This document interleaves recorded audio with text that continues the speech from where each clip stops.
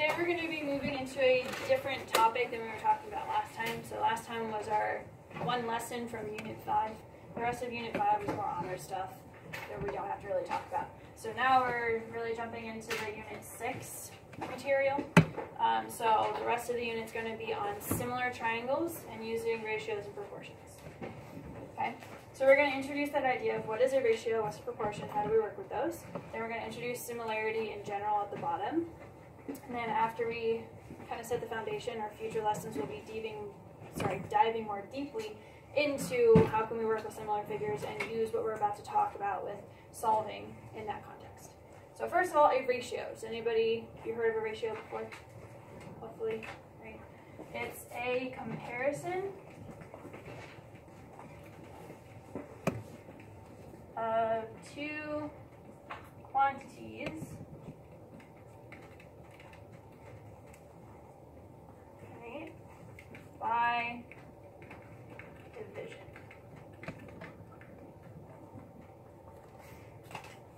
In comparison of two quantities by division. There are a couple different ways that we can present a ratio or use notation to write it. Um, so does anybody remember what a ratio typically looks like when you see one? We're going to be using A and B to stand for numbers.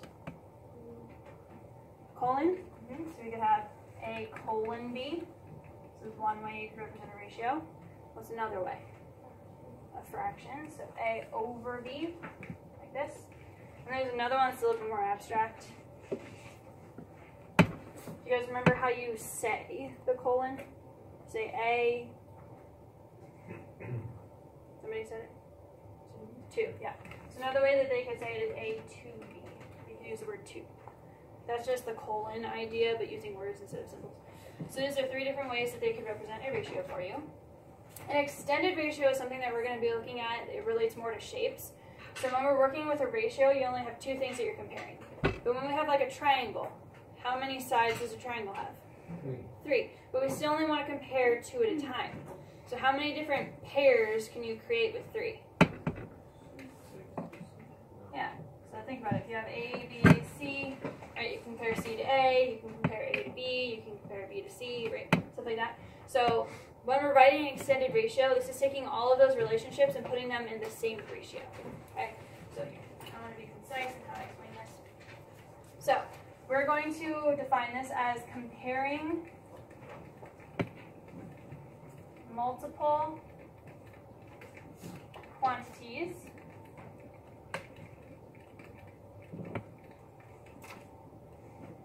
okay, through multiple ratios.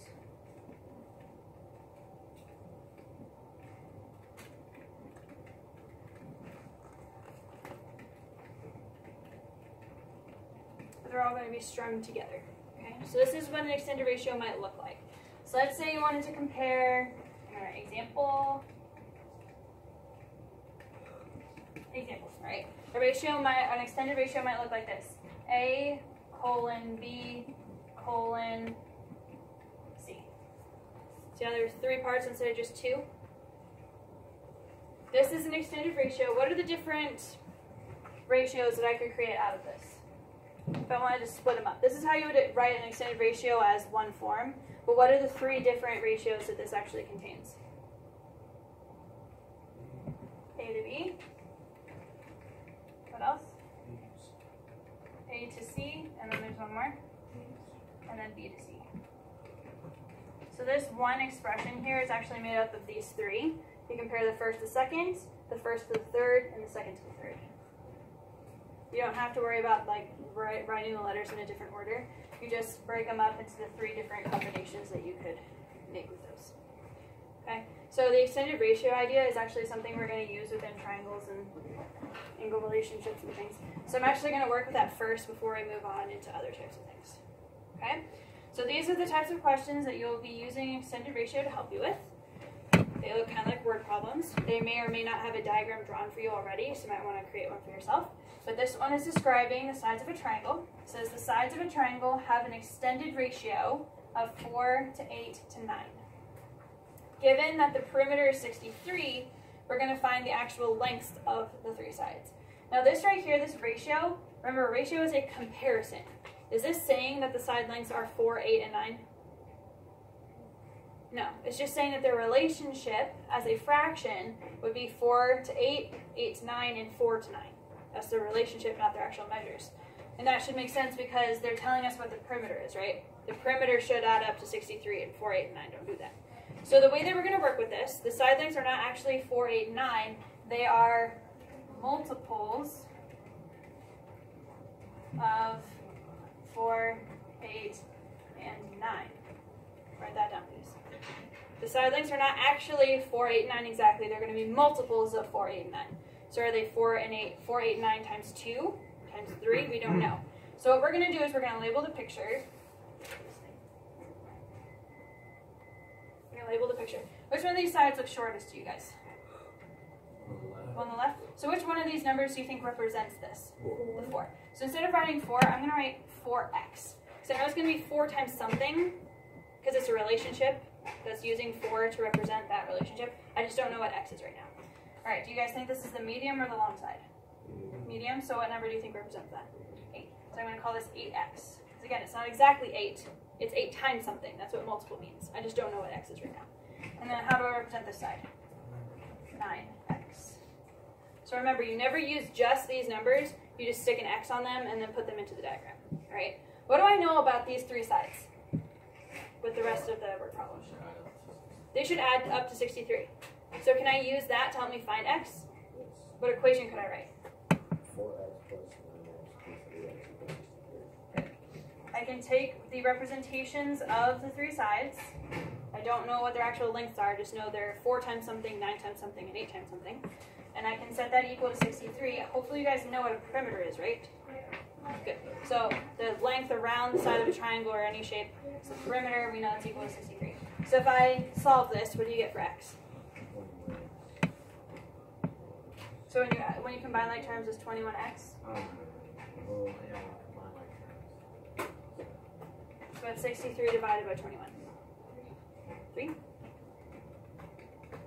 Alright, so x being 3 is telling us that the sides are not 4, 8, and 9. It's 4, 8, and 9 times 3. Okay? So what would this side be right here? What's 4 times 3? 12. So this would actually be 12. I don't know if it's inches or centimeters or something. I don't know. Uh, but it's 12 something. Right? What's 8 times x? 24. 24. And what's 9 times the value of x, which is 3? 27. Alright. Once you get here, what's something you can do to check to make sure that you are correct? You can add them up. So what's 12 plus 24 plus 27? Is that what the perimeter should be? Yes. Yes. Okay. How else can I check to make sure they have the correct relationship to each other? Didn't we say, shouldn't this relationship be 4 to 8? Which is what, half, right? So is 12 half of 24? Yeah, so they even have that relationship preserved as well. So whenever you guys get these answers, double check, make sure that the perimeter is true, and make sure that the relationship between these two numbers is the same as in the ratio. 4 to 8, same thing as 1 half, so they should be half of each other. 4 to 9, 12 to 27 is the same relationship as 4 to 9, so you guys can check using that. Right. So remember that when you guys are writing a fraction, if I had written like 10 over 8, is this a simplified fraction? No. So you would simplify your simplify this yourself, right? What would this simplify to? 5 over 4. 5 over 4. This is what the ratio would look like, even though in reality the fraction was 10 over 8. That's what's happening here. This is a simplified form of the fraction being simplified all the way, but your final answer should be kind of expounded a little bit by figuring out how you need to multiply to get the actual final answer. So we're going from simplified to unsimplified in this picture. That's what we're doing. I was just making up an example. I'm showing you that this is unsimplified, but the ratio will be presented in smaller numbers. Alright, so let's try another one. Let's see another scenario very similar to this. Alright, the ratio of the angles of a triangle are in this extended ratio. This is another way that they could express, this is actually an extended proportion actually, because they put an equal sign in there. Um, we're trying to find the angles measures. So what's significant about how this is represented? What's slightly different about this one compared to this one? Yes. They're saying that uh, ABC equals 459. So they're saying that the measure of angle A is four degrees? Yeah. No. No, no, no. That's it's not what just, they're saying. It's just, uh, what's it called? It's not that degrees, it's a That's the representation. Okay, so that's the representation of all the angles. Do you guys see how, or what number aligns with A? What number aligns with B? And what number aligns with C? Do you guys see how they're in order? Mm-hmm. They do that a lot of the times to show you which number goes where. Over here they didn't do that, so you get to pick wherever you want. But if they specify what letter goes to what number, you have to make sure you follow that guidance as you're going through the question. So if this is angle A, what should I write inside of this as a representation? 4 x. Remember, you don't just use 4, 5, or 9. Those are the representations, but we need to blow them up a little bit by multiplying them.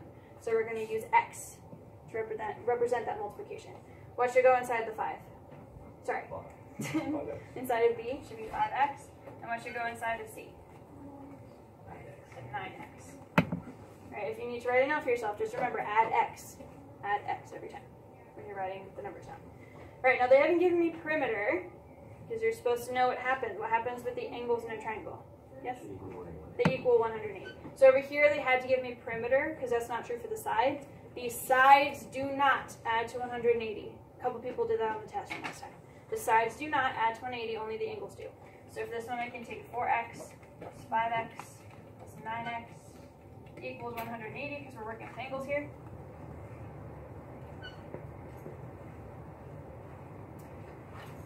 Four plus five is nine. Nine plus nine is 18, so 18x. So what's the value of x? Alright, so they're saying that instead of the angles being 4, 5, and 9, it's 4, 5, and 9 times 10 are going to be the actual values that we're looking for. We're trying to unsimplify this relationship, just like we would have unsimplified a fraction, like we were doing over here. So what's the actual value of, of angle A? 40. 40. What's the actual measure of? And what's the actual measure of C? So again, you can double check, add them together. They should still have to add up to 180. If you're going to do the relationship check, 4 to 5 is the same relationship as 40 to 50. When you relate 40 to 50, doesn't it simplify down to 4 over 5? That should always happen. So you can always use that relationship to double check. Make sure that they simplify down to the original relationship in the question. Okay? And then one more. The measure of two angle, two, sorry, complementary angles are in the ratio of 2 to 3. Find the smaller angles measure. So again, are the degree measures 2 degrees and 3 degrees? No, it's not 2 and 3. Those are representing the angles. So what should I write inside of the angles? Should I just write 2 and 3? 2x and 3x. Remember, when you're working with ratios, with these scenarios, you add an x to that value, because it's just representative, and then put it into the picture. What's the word that I underline that's helpful here? Complementary. So what do I know about these two angles? When you, they equal 90 when you add them. So I can take the two angles, 2x plus 3x, and set them equal to 90. That's what complementary means. That's 5x equals 90. What would x be?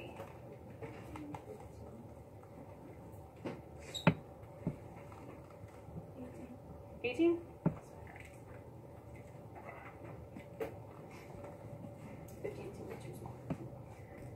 Alright, so if x is 18, notice how the question's asking for these smaller angles measured. And these ones we wanted all the sides, all the angles. This one's specifying. So which one of these two numbers, the 2 or the 3, represents the smaller angle? The 2, obviously. So the smaller angle is going to be 2 times x. The x is 18, so it's the measure of that angle. The angle be 36. Right, because that's 18 times 2. Alright, so if they're specifying which angle you want, you don't have to find both of them, just find the one that they are focusing on. Alright, so whenever you guys see just ratios or an extended uh, proportion here, where they're assigning what number goes where, this is how you would follow that, that question. Alright? Everybody clear on that? Remember, just add an x. Put them in the picture, add an x to the number, and then use perimeter, the fact that the angle's out of 180, or any other prompts like complementary or supplementary. Alright, just underneath that, we're going to talk about proportion. Alright, so proportion is related to ratio. Does anybody have a guess on how we can define proportion? Do you guys know what a proportion looks like?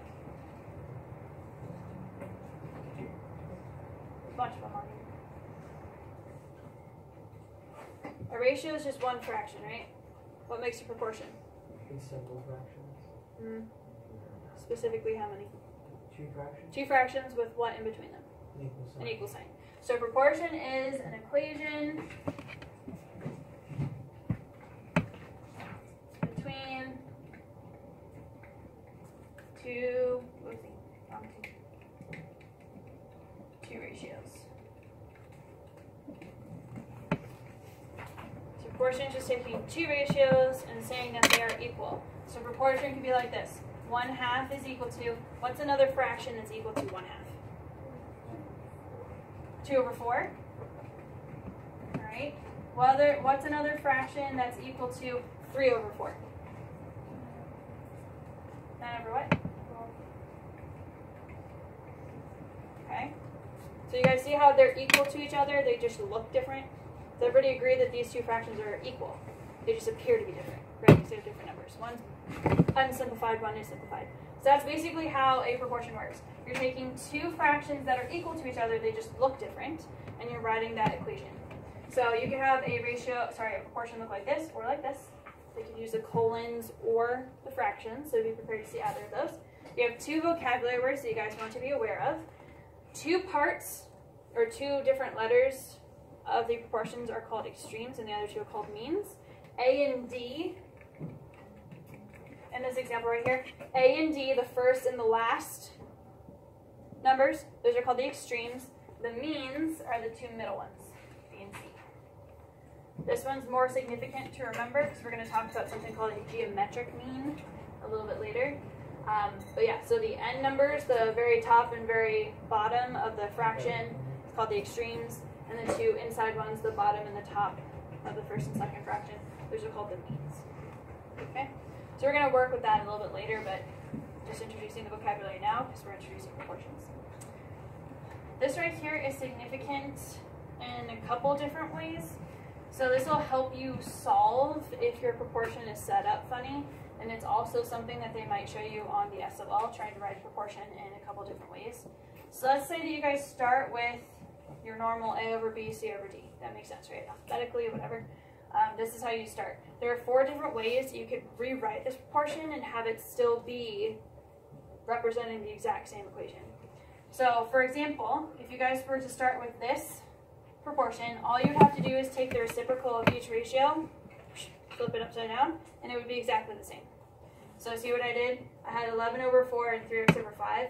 I just took both of the fractions and flipped them. This is going to be exactly the same. Well, I don't want to use congruency symbol, but these two proportions will give you the same result. You guys remember how to solve that? Do you remember? The butterfly method, method or cross multiply? If you were to cross multiply these, you'd get the same answer. So, one way that you can rewrite a proportion and have it remain true is to flip both of them. Would it be true if I flipped just one? No. No, you have to flip both at the same time. Another way is that you guys could switch the means. So that's where the vocabulary comes in. What are the two numbers that I switched in this example? The 4 and the 3x. Those are the means. Remember that's what we defined up here. These two positions, the bottom of the first fraction and the top of the second, those are called the means. If you were to switch those, that wouldn't change the truth or the similarity or equivalence between these two proportions. If I cross multiplied, does 4 times 3x change when it's 3x times 4? No, you guys remember the commutative property, right? It's the same idea here. This is just the commutative property, if I can spell that. I don't know how to spell that, but it's basically the, commutative property is what's going on here. You can switch these two and it won't matter. Same thing over here, but this time we're going to switch the extremes, right? Remember, vocabulary extremes. The extremes are the first and last numbers in the entire proportion. So if you were to switch the 5 and the 11, it still wouldn't matter because 11 times 5 is the same thing as 5 times 11. Okay, so you could switch the means, switch the extremes, wouldn't change anything. And then this one's more rare, but just in case, I'll show you this one too. So a fourth way that you can keep the equivalence between the proportions is to take the bottom number and add it to the top for both of the fractions. So instead of 11 over 4, I took the 4 and added it, so then it's 15 over 4. And I took the 5 and added it up there now, so it's 3x plus 5 over 5. That's really rare, you don't see it that often, but just in case, another way that you can make them the same is just add the bottom to the top and move on. So again, more rare, you want to focus more on these three. Okay? That's just a little, in case on the SOL they show you like, here's the proportion, which one of these options is the same. These are what you want to focus on. Did they switch the reciprocals? Did they switch the means? Or did they switch the extremes? That's what you want to be focusing on. Great. Now into the most important concept that we're going to be continuing on for the next couple of lessons. Hmm. Is the idea of similarity. What's another word for congruent that we use a lot? Equal. Right, so equal means the same in every way, right? So if I were to draw two triangles that are equal, they should be the same size, they should be the same shape, everything about them should be equal, right? That's the idea of congruence. Congruent figures have congruent corresponding angles and sides. Everything is equal. Just like this. You guys see this example, like we talked about before? All the angles are equal, all the sides are equal. That's congruence. Similar is what we're going to work with in this unit. What does similar mean?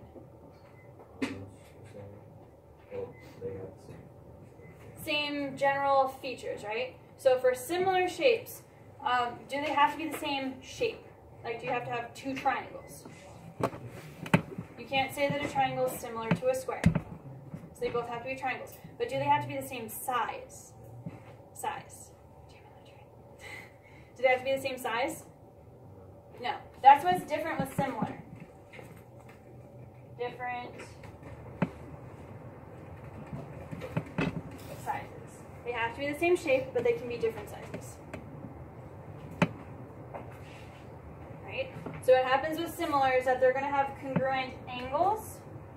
Their angles have to be congruent, but their sides are going to be proportional. So that's why we introduced proportions, because instead of checking to see if the sides are equal, we're going to see if the sides are proportional. And again, we'll dive deeper into that in a second, but that's what's different with similar. Instead of everything being equal, you guys should notice that the angles are the same, but the sides don't have any markings. That's going to be true for similar, but not congruent, right? I also changed the symbol on you guys, so this is something to be paying attention to. The congruent symbol is that equal sign with the squiggle on top. Similarity is just a squiggle, no equal. So make sure you're paying attention to that too. Right? So scale factor. Have you guys ever heard of a scale factor before? Possibly. Yes, no. Yes, you've heard one? I think it's the fact by which something is scaled up or down. Yes, basically. But we're going to define that a little bit more specifically in this example. So the scale factor is the ratio, I want to be very specific. The ratio of, the ratio of corresponding sides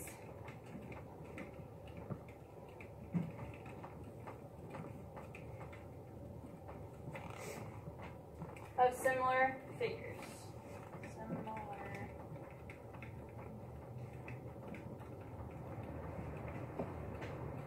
So the scale factor is just going to tell you what the relationship is between the sides that are proportional.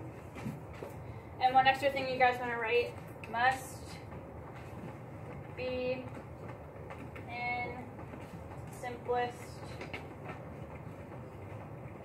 fraction form. So you guys are writing a scale factor, it does need to be a fraction, and it does need to be fully simplified. So for example, I'm going to have you guys create this example for me. Let's say that this side right here is 2. Everybody start off with writing a 2 right here. Okay? How much larger would you like this triangle to be? Two times. Two times as big? So if this triangle is two times as big as this one, what would this side need to be? Okay, you guys pick this side length. What do you want this one to be? I think That that'd means- one. Oh, okay. We can call this a 1. Remember I said this is 2, so let's try to keep it the same. So if this is a 1, and this, again, this triangle is two times as big, what would this side be? 2. Okay. And then lastly, Three. you want this one to be 3? Okay. How big would this side be? Six. 6. Right? That's what we mean by different sizes, but they have to be proportional. I have to use the same relationship going from one triangle to the next. could I say that this was 4, but this one would be 5? Is 5 two times as big as 3? No, so the relationship has to be true across all the different sides. And that relationship that you guys just told me, 2 over 1, this is the scale factor. It's 2 times as big. Now, I like that you chose 2 as your example. It has to be written as a fraction. You can never write a scale factor as just 2. If you want your relationship to be 2 times as big or 3 times as big or something like that, you have to write it as 2 over 1. Always a fraction. Okay? Alright, questions on that before we actually apply that? We're going to see it in more specific context on the next page. But to begin with, is that okay? Turn the page. All they were really going to do with similar figures is decide if they're similar in the, similar in the first place, and then maybe solve for some missing measures using proportions. That's really all we do with similar figures. So I have two different examples here. I have this one right here and this one right here. Notice they're not triangles yet. We'll get into triangles a little bit later. Do you guys remember what these are called? Trapezoids. We're going to focus on these quadrilaterals to begin with. So my first question for you guys, we're going to find which angles are corresponding and congruent to which angles, and then we're going to write proportions for the sides too. So what is corresponding to A in this one? F. Do you guys see the little markings here? They're corresponding. So A should be equal to angle F. Remember, angles are equal. That's what's that's what carryovers from congruent. The congruent triangles and the similar triangles will have congruent angles. What does B correspond to? G. Nice, they give you the symbols there. Alright, they haven't given you the little markings for C and D, but you should be able to extrapolate it now. What corresponds to C? H. H. So see how we have this side right here, BC? You can extrapolate that on this side, GH. So then C corresponds to H. And what corresponds to D? K. There's no K. J. J. Alright. Heard K. Alright, so all the angles are equal. You should be able to get that real quick. Now what we're going to do is write a relationship between the sides. Notice how, let's see, we're starting with B. Okay, so BA is right here. What side corresponds to BA? Be careful how you say it. G. F. GF. Remember, the ordering of the letters still matters here. If I go from B to A, I have to name the side GF. The ordering still matters in this unit. Now notice how this is 10 and this is 20. Are they equal? No, they shouldn't be. If they're similar, they shouldn't be the same. They should be um, proportional. So if this is 10, what should go here to represent GF? 20. So we're just filling out these fractions. All right, so we're starting with GH, which is right here. What side corresponds to, sorry, J? JH. DC. Remember, if you're not sure, you can use the angle chart that we made up here to see what corresponds to what. So JH corresponds to DC. They've been uh, reflected. Uh, what's the measure of DC? No, the measure? Four. We're filling in both sides. We're saying what sides are related and what their measures are. Okay? And what corresponds to CB? HG. What's its measured, 12. Alright, once you guys analyze the picture a little bit, find the relationships, figure out if the angles are equal, my question for you now is are they similar? Now there are two things you guys need to check. Are all of the angles equal? They all mm-hmm. correspond and they're all equal? Or the ones that are provided are equal? I have these two are equal and these two are equal. Okay, so whatever's provided, they're equal. We have the angles part, yay. Okay, now I need to check the sides. Do the sides need to be equal? No, they shouldn't be equal, they should be proportional. That means they should have the same relationship from going from one shape to the other. So let's take a look. What's the relationship between 10 and 20? Two. Well, 10 is half of 20, okay? What's the relationship between 4 and 8? 4 is Half of. half of 8. What's the relationship between 6 and 12? It's half of 12. So they all have the same relationship going from one shape to the other? Are they all half? Asking for confirmation. Yeah. Yes. So they all have the same relationship. They're proportional. That's what I mean by proportional. They have the same relationship going from one shape to the other. So if I have both of these scenarios, can I say that they're similar? Yes. You just need those two things. Are the angles provided equal? Are the sides in the same relationship? If those two are answered yes, then the full shape is yes. Now I want to know what the scale factor is. That is what the relationship was that you guys were just telling me. What's the relationship from one side to the next? One half. So your scale factor is one half. Whatever the relationship is going from left to right, that's the scale factor. This is half of that one, so one half. Okay? Now, similarity statement, we talked about this in congruency. Congruency statement, that's when you name the shape and then you make sure that the letters are in the correct order. So who would like to name this one for us?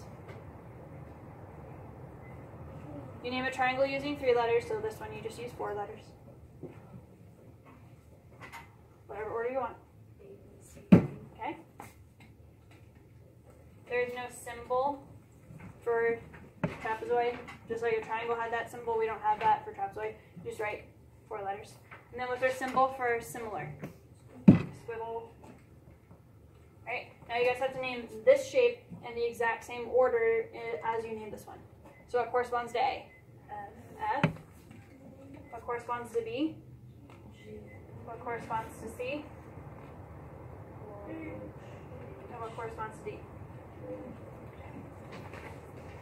So just like we did that in the previous unit, you do the same thing here too.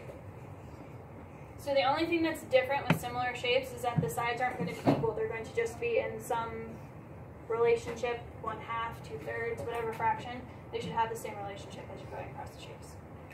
Alright, so a little bit more quickly, let's take a look at this one. What does A correspond to? W. So they should be equal, which they are, both right angles. What does B correspond to? Okay, and they're both equal, so we're good in that regard. What about C? X. Are you guys seeing how I know which ones are corresponding? I'm going by the markings. Everybody clear on that? Okay. And then last one, what corresponds to D? Z. The Z over here.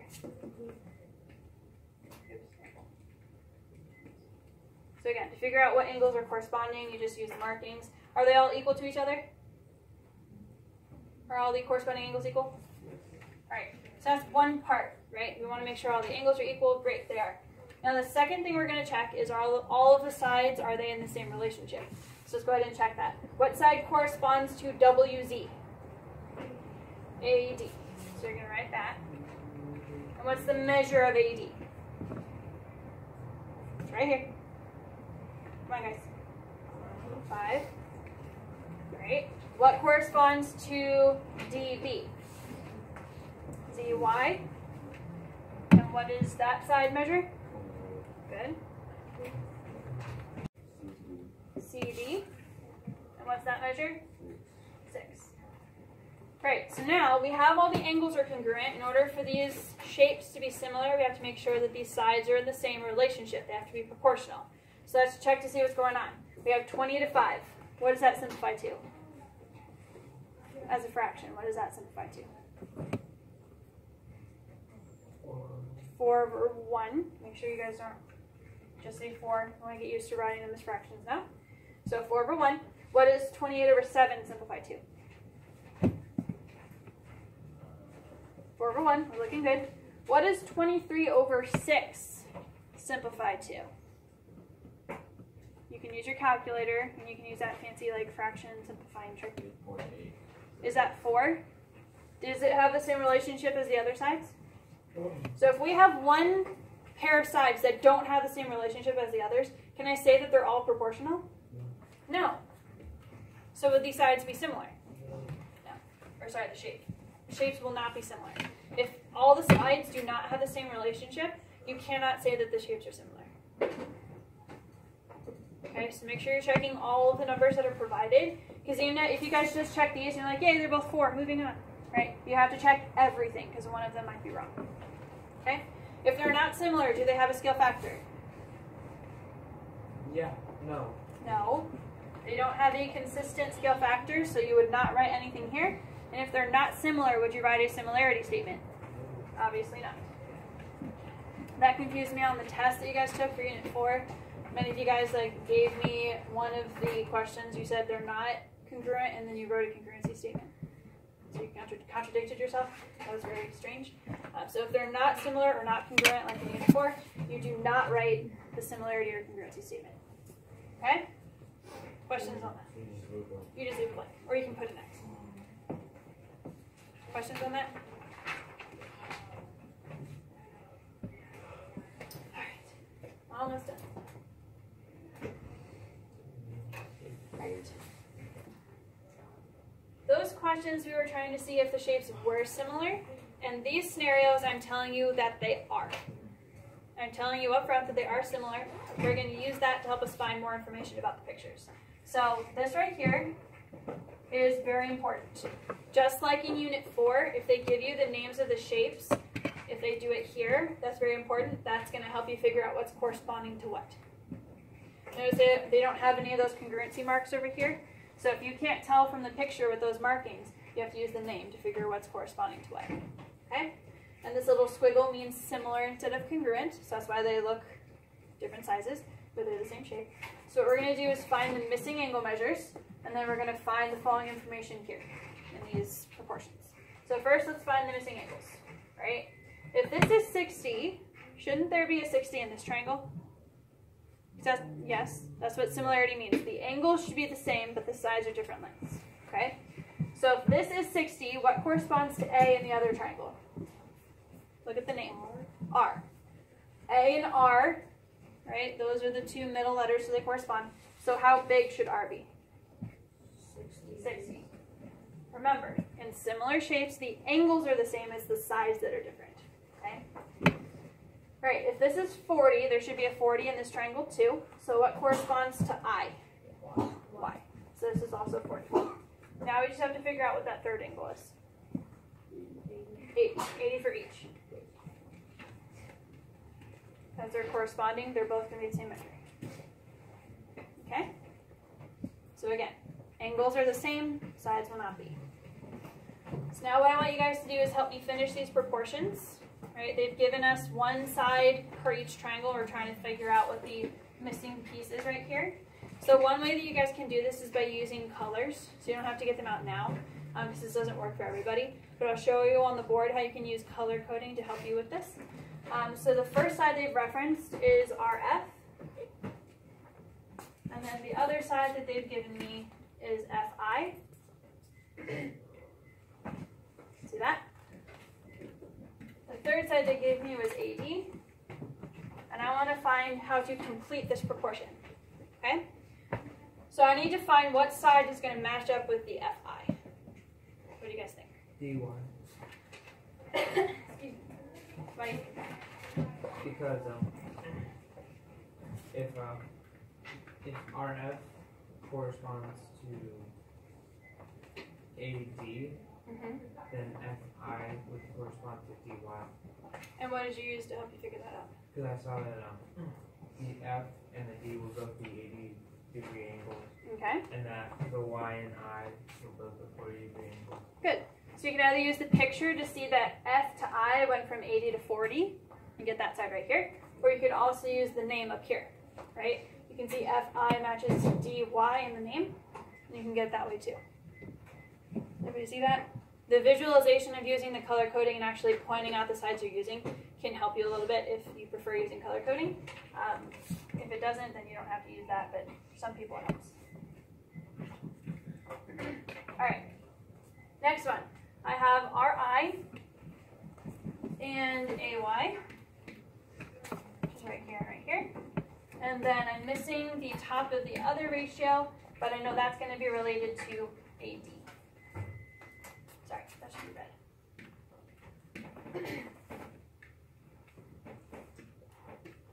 I always write the top part in one color and the bottom parts in another. So what do you guys think would match? What's the side I'm missing in the other triangle to finish that? Yes. How did you get that? Um, I drew like circles, like different shapes around the ones that are with the letters. Okay. Are Congruent, so To illustrate? Okay. yeah, so I just see which ones were. So the side we were missing was the AD one. So you notice that A and D, like the 60 to the 80, you, mu- you put markings here. to go from the 60 to 80 here. So that's a good strategy you can do too. Instead of color coding, you can put little shapes around the letters and match them up. So everybody see how I'm kind of going along with those different strategies? So without any color coding or anything, what do you guys think would go in this blank? Um, Use your own strategy. What do you think? Does anybody have any other ideas besides FI? Does everybody agree that's it?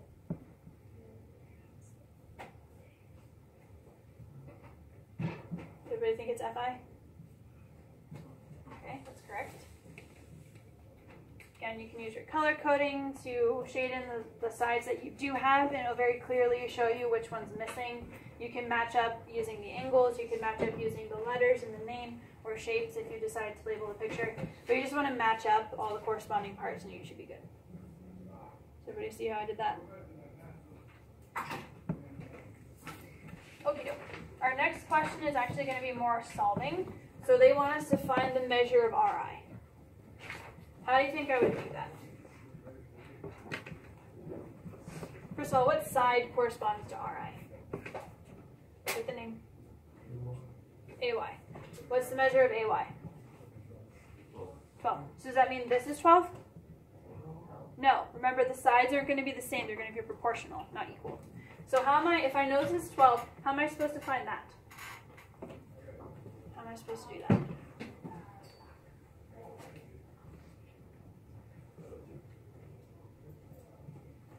Any ideas?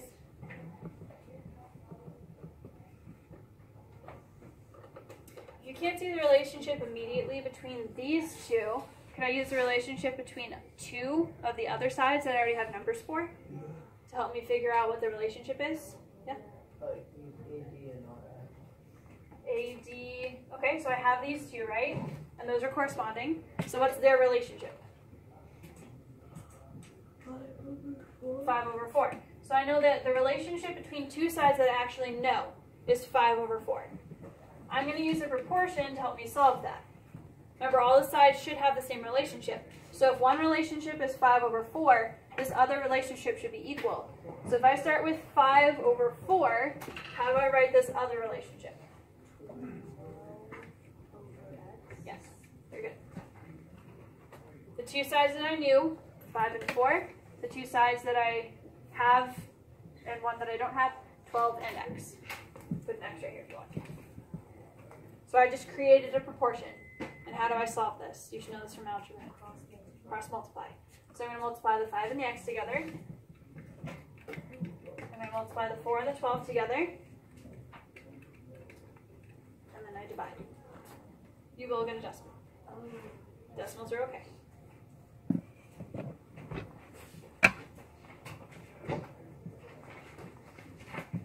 Anybody? Nine point six. 9.6. That was, that was long. Huh? That was a little long. Just figuring out how to do it, right? But once, now that you know how to do it, it won't be long. Right? So whenever you guys are missing a side, you use other sides to help you. You need to know what the relationship is between the two triangles or shapes, whatever they are. You set that relationship, and then you write down the, the fraction that's missing a piece, and then you cross multiply. That's essentially what we're going to be doing for the rest of this year. Okay? So real quickly, what's the scale factor going from the uh, small triangle to the big triangle? Scale factor is the relationship, remember? So what's the relationship from one triangle to the other?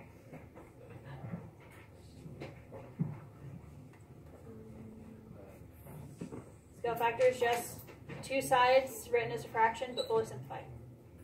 Two thirds. Mm, wait, which one are we- we're going from the small one. See, this is the small Oh, we're still Small. small. Yeah, same problem. The small one to the big one.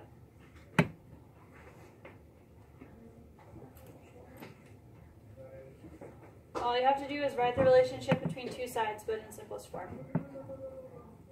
What's one side over here? We're going from small to big.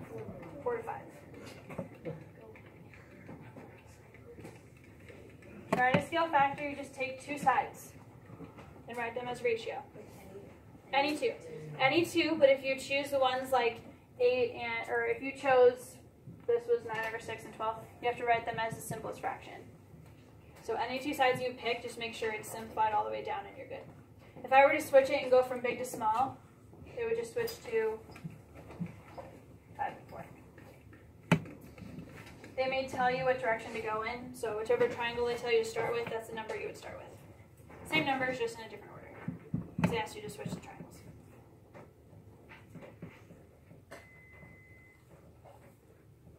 Right? So what we're going to do for the remainder of the lesson is just practice with that cross multiply idea. We're going to have pictures that are already similar. They've already told us, based on the name here, we're going to solve for the variables using proportions like um, Ella and this group over here helped us decide what a proportion should look like. And then we're going to do the exact same thing here and solve. That's really what the remainder of the unit's about, being able to write these proportions and solve them. So that's what we're going to practice with here. Okay, so I know that these two are similar based on the name, and again, the name is very important. It's going to help you know what's corresponding to what. I'm trying to find the value of x and y. Which very you pick one. Which one do you want to start with? What's your favorite variable, x or y? X. All right, so we're going to start with x. The first thing you want to do is find x. Do you guys actually see it in the picture? I don't know if it printed very well. Did you see it? It's right here. So my strategy for you guys to create a proportion, the easiest way to do this is to start with x.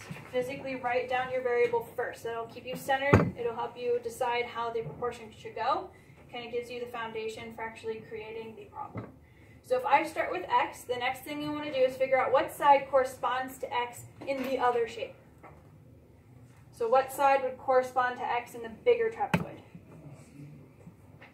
This is FG. What corresponds to FG? BC. That's right here. So it should go on the bottom of this. 7.5. When you're writing proportions, you're going to stack the two corresponding sides. So this side and this side are corresponding, so they get stacked together. Alright. Now I need to create another proportion. I need to pick two different sides that are corresponding, but they both have to be values. I don't want to have any more variables in the picture. So what are two sides that both have values?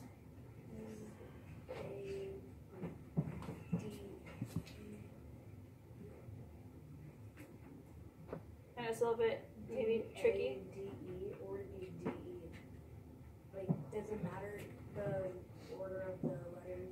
It actually it actually does. So you mean like whether you say DE first or DA first? Or what you mean? like A D or That doesn't matter as much. oh okay. Um, when you're solving, that doesn't matter as much as when you're writing the similarity statement, it does. Um, for this one, it's very important that you guys write the pieces of the trapezoids or shapes in the same order. Which shape did the X come from, the small one or the big one?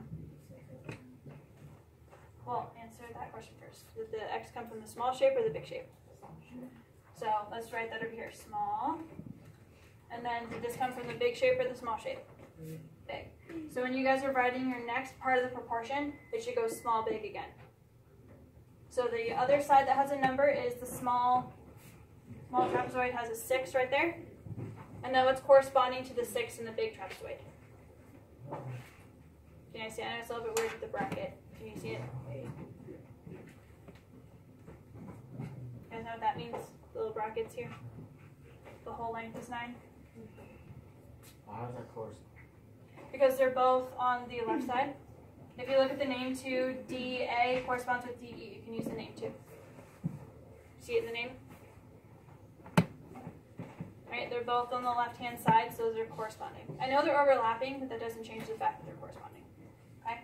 So now once you guys set it up, small to big, small to big, Oh, Now I'm just gonna- two correct. Oh. They're two trapezoids, they're just overlapping slightly.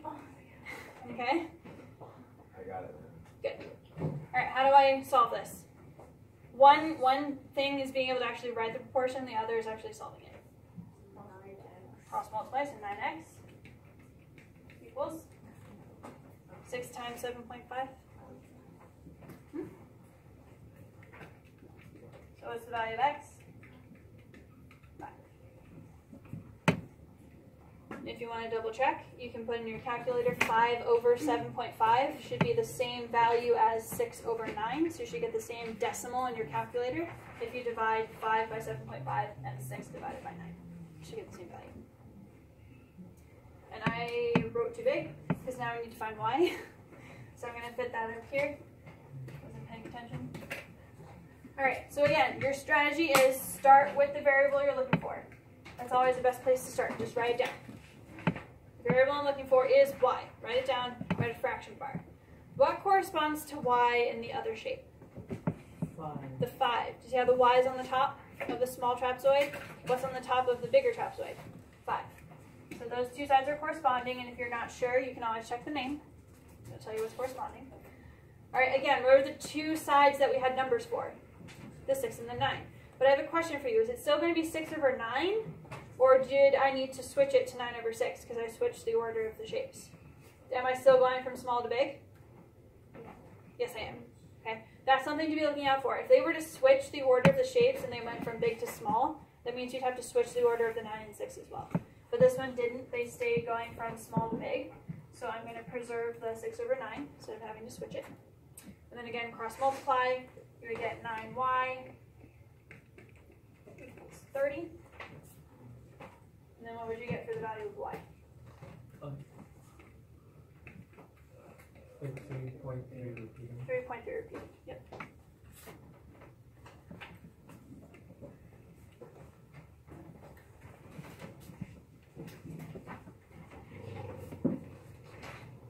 Alright, before we go on to the next question, I want you guys with the person next to you, you're going to pick either x and y. Well, there's two of you, right? So one of you is going to re-explain how we found x to the person sitting next to you, and then that person is going to explain how they found y. Right, so with somebody who's sitting next to you, one of you is going to go through the question of how to find x again, and the other person is going to go through how to find y. Right, so go ahead and talk to each other, kind of unwind that a little bit. Then we'll do the next question. This is your opportunity to ask a question if you don't understand.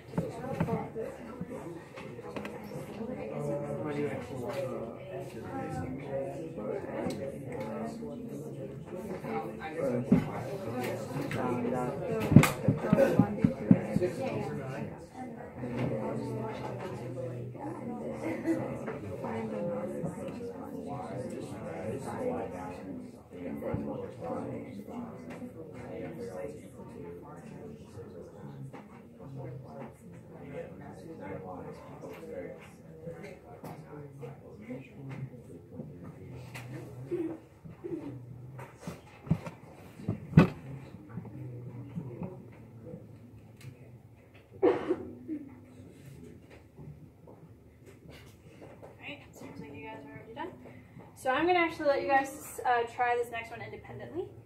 There are two variables again, x and y. You're going to pick whichever one you would like to start with. You're going to write the proportion, solve, and then move on to the next variable.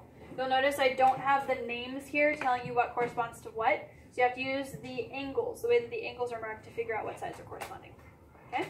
So go ahead and give that a shot. If you need help, I can come over and help you get started on the proportion. But I want you guys to see if you can find those on your own.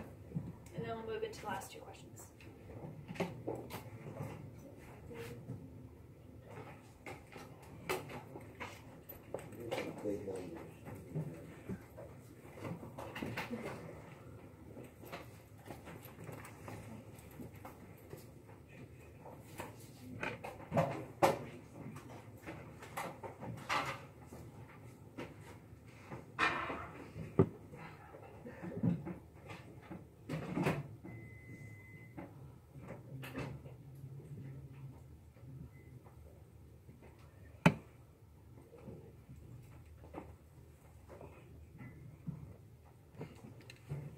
Great, these are the values you should get.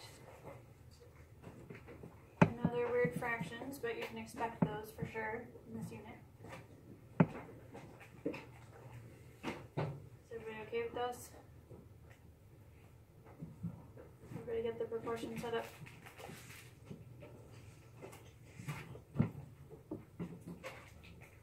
You'll notice in this one, the way that the corres- uh, corresponding sides work, this side corresponds to this one because of how the angles work, right? The double and triple side corresponds to the double and triple side once you put the uh, vertical angles in there. So you have to use the angle markings to figure out what sides correspond to what. Yes, Oscar? So, is it always gonna be like, when we, when we put x over twenty-five point five, is it always gonna be equal to fifteen? If you try to switch, like if you had found y first, for instance, if you had found y first, I would not recommend that once you find y, you put the number here and then try to use that to find x. Use the numbers that are already consistent there. Yeah, so you will be using the 15 and the thir- whatever numbers those are. You should just reuse those for each question. It just depends on whether it should be 15 over 30 or 30 over 15. If y had been in this triangle, you would have to switch the order of how you use the 15 and the 30 to match going from big to small. Wait, say that again?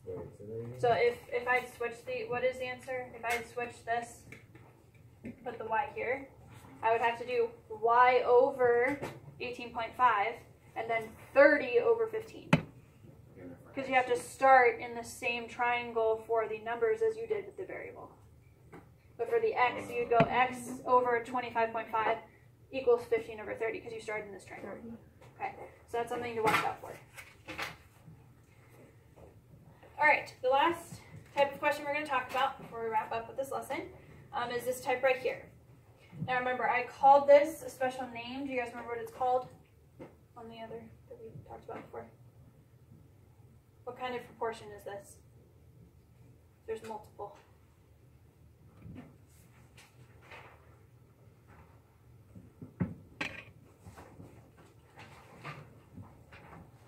Talked about it in the context of ratios, but it still applies here. Yep, extended. This is a, an extended proportion. Okay, we're gonna do the same thing as we did kind of back there. What's significant about this is that they've told us what sides go with what number. That's really helpful when they give you this, otherwise you don't know how to create the proportion. So what I'm going to do is I'm going to use the name to figure out what the relationship is between the two sides, but I have to use these two as some sort of relationship. So you guys tell me, how would you like to stack these? It's really your choice. Do you want this one on top or that one? No. Wow. This one? Yeah. Okay. So let's say you guys are writing your proportion. Okay. So I have 2x plus 1. What side is that? AB. Now, do you guys see how I don't have a second shape? Up here I had two shapes, so I could see what was corresponding to what. Down here I only have one shape. That's what these are for. These extended ratios and extended proportions are when you guys have one shape instead of two. So you maybe want to write that down. One shape. That is exclusively what they're meant for. These are only given to you when you have one shape instead of two. So the name is going to tell you what corresponds or what value belongs with AB. In this proportion, what belongs with AB? What number? No, number. Number three. So that goes here. Instead of having another shape, they have the relationship right here for you. So AB corresponds with the first number here, 3. Okay? And then I'm going to use 3x. That's CB, or BC, which is how they spelled it here. What number does that correspond with? In the name. 4. So you have BC is the middle. The middle number is 4. That's what this is for. Instead of having two shapes, they give you the name so you can find those two numbers that you would have found in the shape. That's what the name is for. So now I can set up the proportion and solve. It's a little bit more complicated because you have multiple variables here. But if you cross multiply, you would get 9x equals, what happens when you have two objects up here? You have to distribute. Don't forget to distribute. If you want to write parentheses to remind yourself, feel free. That should be 8x plus 4. That's the biggest mistake. People forget to distribute that 4. And then you would subtract, so x is equal to 4. So the only thing that's different here is they haven't given you two shapes. They give you one shape, and then the other information that you needed is in the directions instead of in the second shape that they provided. Okay? So just to wrap up, let's see if we can figure out how to do this one then. Okay, so again, they give you the name here. Told you how all the sides have a relationship over there. Which one of these would you guys like to start with? The x minus 2. Alright, x minus 2 is going to go on top of our proportion. This is side AB, which is represented here. So what number corresponds with side AB? 2. AB is first, so the 2 represents AB. Next up is the 11 from our picture, which is AD or DA, which is how they spell it here. What number corresponds with DA? 5, the one at the end. So that's how you create your proportion if you don't have two shapes. You use the first shape and then the name. Again, matching up all the corresponding sides. Then you cross multiply. Um,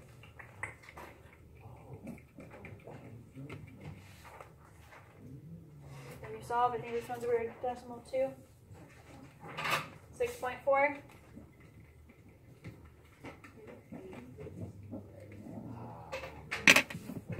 Yeah. So you use the shape to write the tops, and then you use the names to match up the corresponding sides.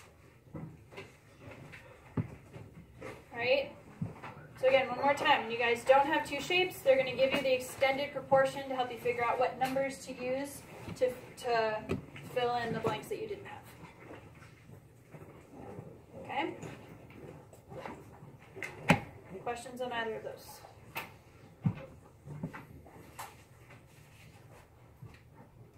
Okay, so just confirm for me, is the homework double-sided or is it not? It is. So, everybody, I'm telling you right now, there are two sides to the homework, so please do not forget to do both sides. Okay? There is a variety of different questions that you guys will see. They're spread out. A couple of them are multiple choice. Please make sure you are practicing all of those. You get practice with determining if they're similar. You have the solving and then working with proportions. So please be careful with those. Everything that's on the homework and the review is representative of stuff you might see on the test. So please make sure you're using that to practice efficiently. Um, we have about 10-ish minutes until class is over. So you guys can start working on the homework or you can transition into the graded assignment. We do have plus one today. Okay. So I'm thinking I'll probably, have I shown you your unit four test yet? No. Okay. I'm hopefully going to do that during plus, um, but I want to give you guys time to work on the grade assignment too. So if you want to focus on the homework now, work on the grade assignment a little bit during plus, that's fine.